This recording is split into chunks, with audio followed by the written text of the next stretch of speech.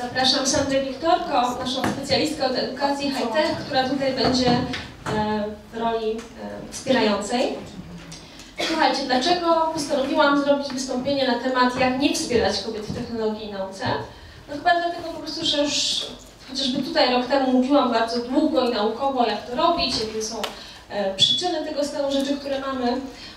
I w pewnym sensie jestem już jakby zmęczona mówieniem, jak wspierać. Poza tym zaraz będzie panel, który bardzo dokładnie, e, że tak powiem, rozłoży na czynniki pierwsze różnego rodzaju strategie. Dlatego pozwoliłam sobie tym razem e, lżej, szybciej e, pokazać Wam, jak tego nie robić. I zaczniemy od krótkiej sceny. Znacie pewnie Big Bang Theory. To jest serial, show, telewizyjne, które w mojej ocenie zrobiło najwięcej w ogóle w świecie, jeżeli chodzi o zbliżenie naukowców i ludzi, którzy e, nauką się nie barają na co dzień. I właśnie tutaj, oprócz tego, że w tym show mamy postacie takie jak Amy, jak Bernadette, bardzo ciekawe, inspirujące postacie kobiece, e, naukowczyń, to też nasi bohaterowie trzej postanowili również pójść do jednej ze szkół i zachęcić dziewczyny do nauki. Zobaczmy, jak to się udało. Hello, female children. Allow me to inspire you with a story about a great female scientist.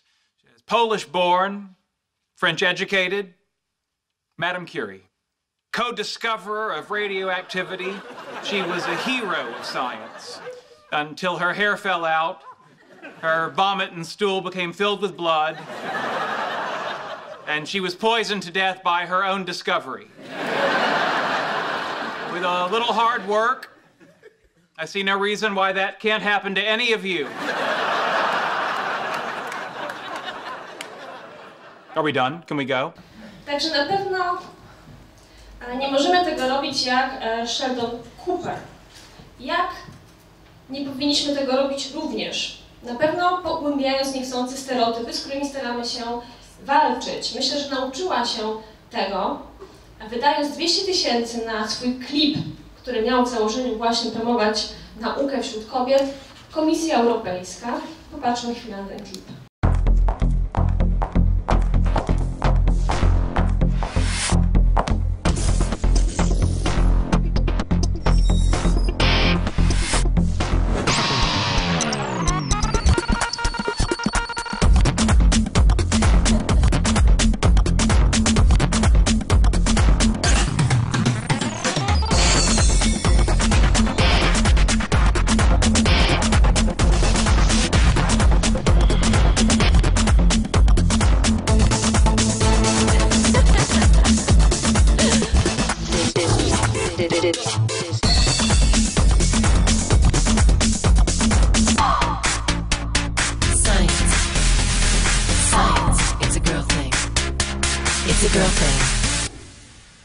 No to się wydarzyło kilka lat temu, także moglibyśmy pomyśleć optymistycznie, że teraz coś takiego no, nie ma już na szczęście miejsca. Gdyby nie to, że w ramach, e, tutaj się bije w piersi jako inicjatorka tej akcji, w ramach akcji Dziewczyna Politechniki w roku 2017, także całkiem niedawno powstał ten klip.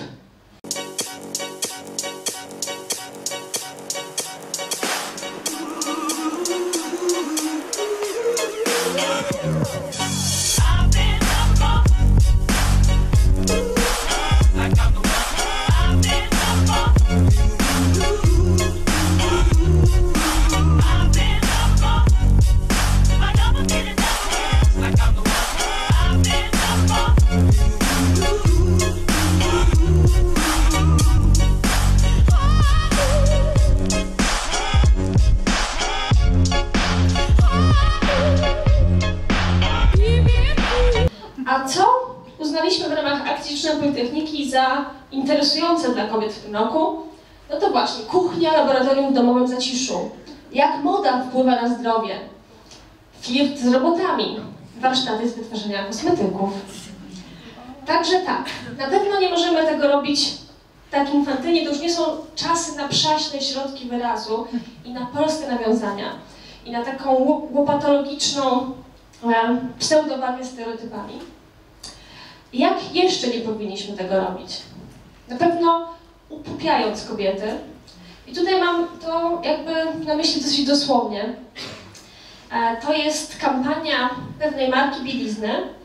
E, Wokół tego toczyła się dosyć długa dyskusja. Generalnie e, ta marka bielizny chciała się wpisać w taki bardzo teraz popularny trend femvertisingu, czyli takiego właśnie trend opierający się na tym, że kobiety zaczynają mieć więcej do powiedzenia w ważnych sferach, jest rewolucja, wszystko się zmienia i zaczyna się opłacać, wspierać, e, tak, wzmacniać kobiety e, dla zwiększenia sprzedaży produktów. Za- Zaczynamy to widzieć właściwie wszędzie chyba.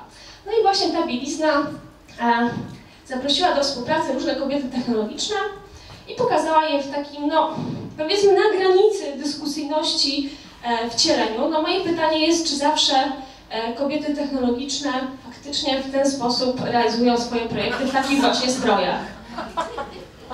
No i moglibyśmy powiedzieć, że też nauczyliśmy się czegoś z tego. Natomiast marka e, polska CEE w tym roku, 2017, wydała kalendarz.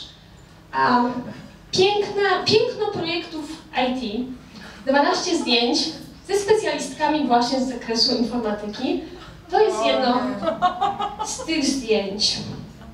Także ja bardzo uczulam, bardzo proszę o to, żeby zwracać uwagę e, nie tylko na to, żeby wspierać kobiety w nauce w technologii, ale także na sposób, w jaki to robimy. A ja już na przykład nie chciałabym nigdy usłyszeć jako argument za tym, żeby było więcej kobiet w tym obszarze, argument taki, że one łagodzą obyczaje w instytucji albo w organizacji. Bardzo bym nie chciała.